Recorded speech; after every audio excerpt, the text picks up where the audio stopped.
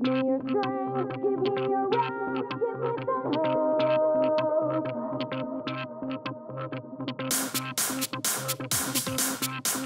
I'm Shahira Fawzy.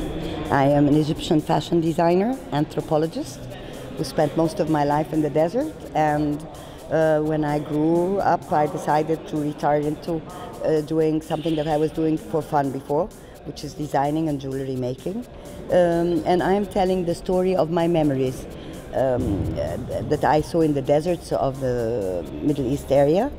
And I do my own, in the desert, I learned to make my own textile by weaving. Uh, I didn't have much to buy, so I had to do my own things. So we began to draw and print, hand print on uh, textile cotton.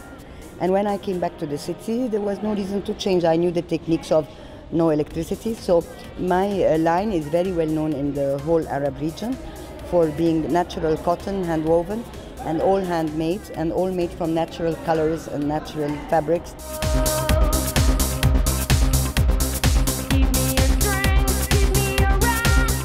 The line started in uh, 1998 as a not professional thing, but uh, just an art. In uh, 2005, uh, we became, we, the Middle East decided that they wanted to buy our things and the company started expanding. I wanted a small boutique and then slowly, slowly it grew without my realizing.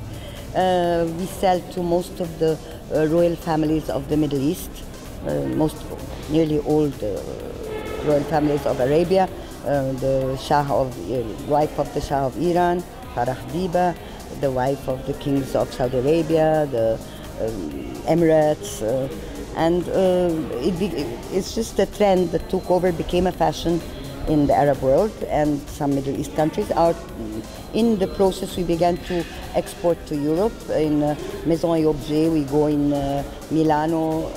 Um, we started uh, in years, later years to add to the jewelry and the dresses, home fabrics and sofas and things. So now we are selling, uh, Bloomingdale's is, is, selling our things. Uh, Cannes, People's Boutique in the Croisette, where they do the um, film festival. Uh, um, Fragonard, uh, which is a big, uh, an ancient uh, shop in France that has shops in Paris, uh, Cannes, Nice, uh, Monte Carlo. Um, also, I have my own boutiques in City Stars and in Four Seasons, Bayman in Cairo.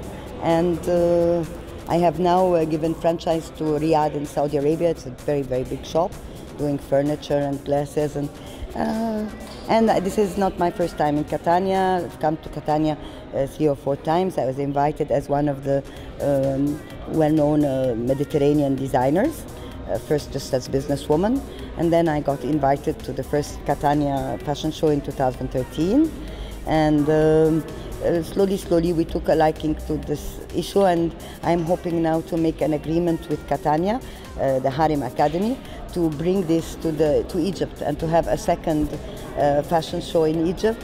And in, in due time, I hope that this will grow and uh, become in Tunisia, Turkey, France, Spain, Italy. It's, it's a nice concept, a nice idea. Instead of always talking about, you know, uh, terror and things like that, we are also talking about art. Our people from the news are beginning to think our countries are not safe when our countries are totally safe. It's maybe something like a very small town, seven hours away from where everything is going on. But uh, you know, concentrated news make people think that life is not the same. But we come from countries with a lot of culture and a lot of art, and I am my collection is telling the story. This is Description d'Egypte that was drawn by uh, the Napoleon uh, culture artist who came with him in the 1790s. and I'm describing it, took it out of the books and I'm putting it, I was reading only books in the desert, no television, no magazines. So the books I loved, I tell the story. And uh, I'm doing also the calligraphy of, ancient calligraphy of Persia and Egypt, uh, but doing it with songs in other dresses. I'm also, this season I am doing Adorned, which is the jewelry of the deserts, all the deserts, all the way from, from the beginning of the Middle East to the end of the uh, Western deserts the charms, the bracelets, the things drawn on the dresses.